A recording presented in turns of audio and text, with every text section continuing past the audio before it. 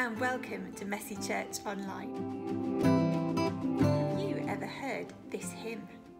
All things bright and beautiful, all creatures great and small, all things wise and wonderful, the Lord God made them all. The Lord God made them all. Today we're going to be having a look at the Christian story of creation. It helps us imagine how God might have made the world. It's a wonderful poetic story that we find in the beginning of the Bible. We've got lots of different crafts and activities to get you thinking about all the wonderful things there are in the world. So let's get started with Messy Church, bright and beautiful. God made animals and insects. When a baby giraffe is born, it's already six feet tall. Do you know how tall you are? Here you can make an amazing giraffe that is exactly the same height as you. For this activity, you'll need a long roll of paper, a giraffe head and body which you can print off the internet or draw yourself, scissors, glue, tape, some pens and a tape measure. Now you can either print a giraffe's head and a giraffe's body or you could draw your own on pieces of paper. I've printed these ones out to make life easier. Unroll your long roll of paper a little way and stick the giraffe's body to the top of the white paper, facing upwards, just like that. Now you need to unroll your paper some more and you're going to do some measuring. You can either measure how tall you are and then measure that from the bottom of your giraffe upwards, or you can lie down on your piece of paper, making sure that your feet are where the giraffe's feet are. Make a note on your piece of paper where your head is when you either measure out the right amount of paper or if you're lying down where your head is on the paper. Then stick the giraffe's head so that its head is level with yours. Now take some pens and draw the whole of your giraffe's neck down from the top.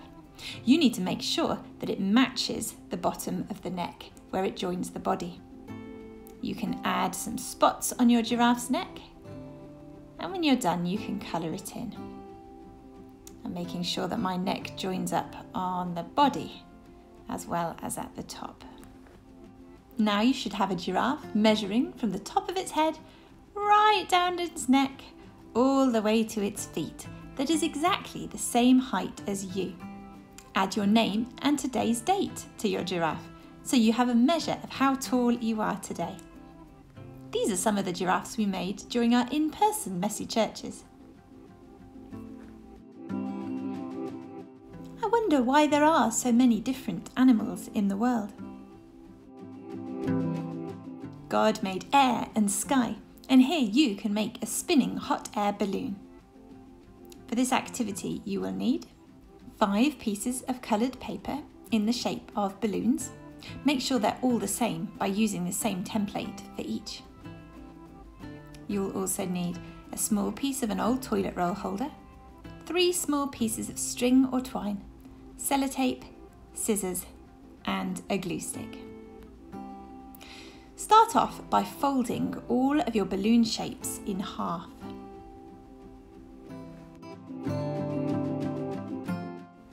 When you've folded them, separate them out again so that you have five separate shapes. Now you're going to use the glue stick to glue one half of a balloon to a half of another so that it looks like this.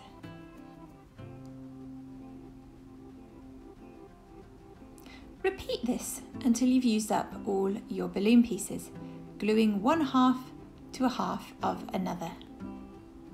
When you're done, it should look like this. So it looks 3D.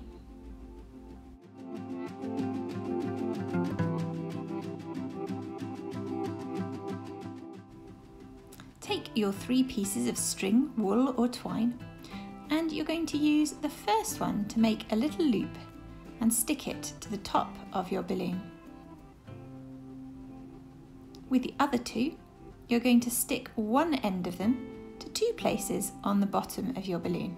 Now you have made a hot air balloon that will spin round in the wind.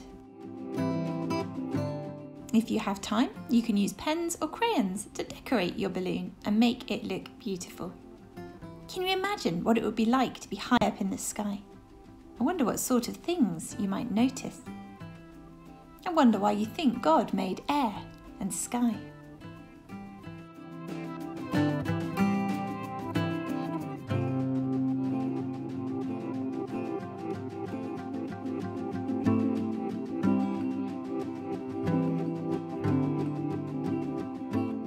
God made earth and soil.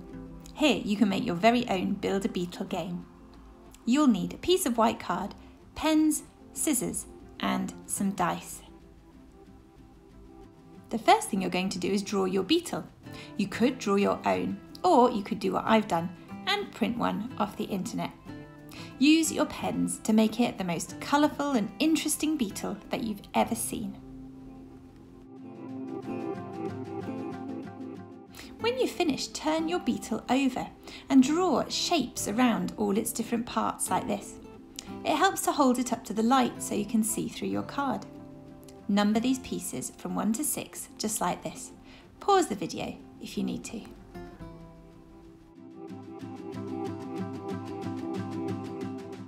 Cut around the heavy dark lines to make 7 beetle pieces. Now, you're ready to play. You can play this game on your own or with a friend. You need to throw a 6 to start. That will allow you to place your biggest body piece. There's my number 6 piece. Now, each time you throw the dice, see what number it lands on, and you can build that part of your beetle. Notice that some of the numbers you need to throw twice. If you're playing with somebody else, make sure you're taking it in turns. How many throws does it take to build your beetle? If you're playing with someone else, who will build their beetle first?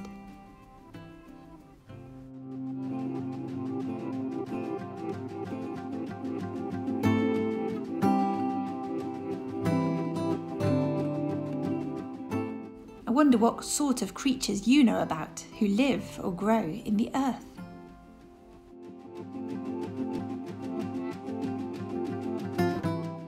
God made seeds, plants, trees, and beautiful flowers. Here you can make an amazing paper flower.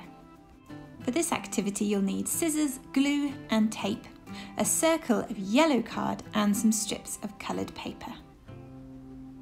Choose what colour you'd like to make your flower and choose some strips of paper in that colour. I think I'm going to use pink and purple to make this flower. Now take each strip of paper one at a time, fold it over and give it a little squeeze so it keeps its shape, but don't fold it down too hard. You're going to take glue and glue the ends of your paper together so that it sticks. Do this for all your pieces of paper. Now take your yellow circle of card or paper and cover it in glue on one side. Now, one at a time, you can stick the strips of paper on to make the petals of your flower. You might need to add a bit more glue from time to time. When you turn it over, your flower looks like this. And if you want to, you can add even more petals to make your flower thicker and fuller. What beautiful paper flowers. I wonder what your favourite kind of flower is. I wonder why God made flowers. Here are some flowers we made during our in person messy churches.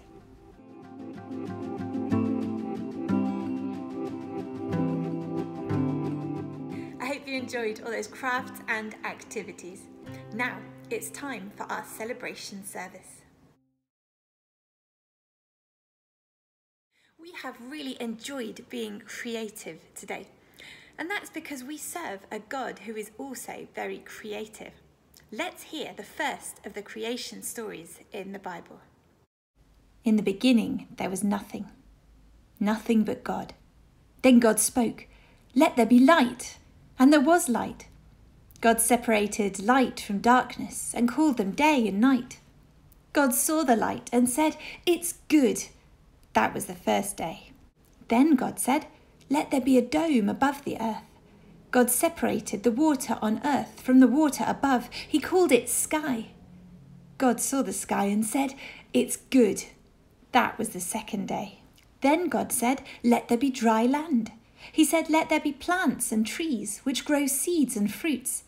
And trees, plants, and grass grew all over the land. God saw it all and said, It's good. That was the third day.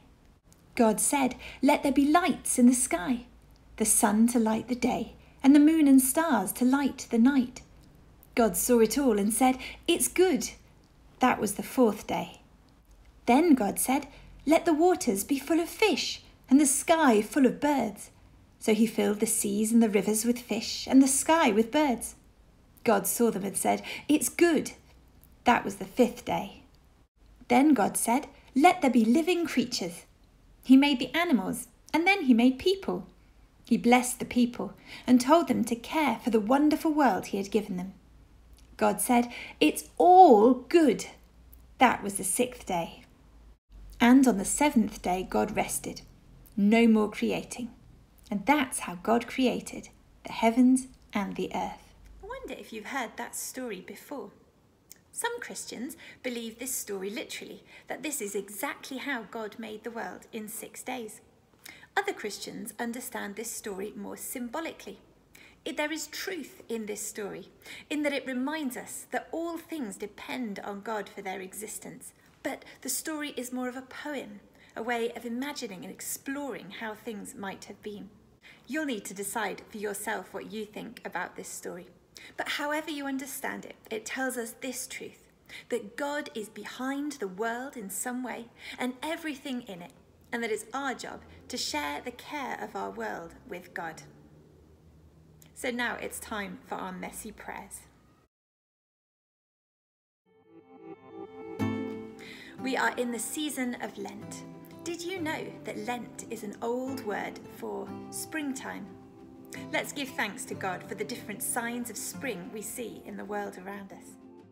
If you go outside, you'll find all sorts of flowers daffodils,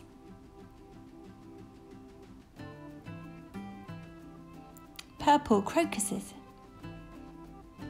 You might even see signs of insect life, maybe a bee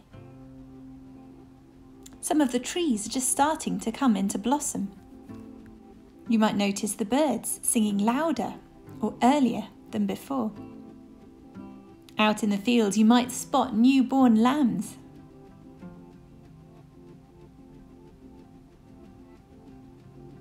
Or in the pond, frog spawn. If you're really lucky out in the fields, you might see a hare. Loving God, we thank you for the gift of your world and the signs of spring all around us. Help us to live as one family and care for everything you have made. Amen. We always finish Messy Church with the Messy Grace. If you've done this before, you know what to do. First, you hold out your hands as if you're getting an amazing present. Then you put your hand on your heart as if you're saying, I love you. Then you open your arms out wide as if you were going to give someone a great big hug and bring them up and finish with an Amen. If you know the words, join in too. You'll find them on the bottom of the screen. The grace of our Lord Jesus Christ and the love of God and the fellowship of the Holy Spirit be with us all evermore. Amen. Thanks so much for joining Messy Church Bright and Beautiful today. Messy Church returns in April with two special services for Easter. Messy Church Living Palms is on Palm Sunday, the 2nd of April, 3 o'clock at St John's Church, and Messy Church New Life is on Good Friday, the 7th of April, 10am to 12 noon. You will be really welcome. Hope to see you there. See you next time and take care. Bye.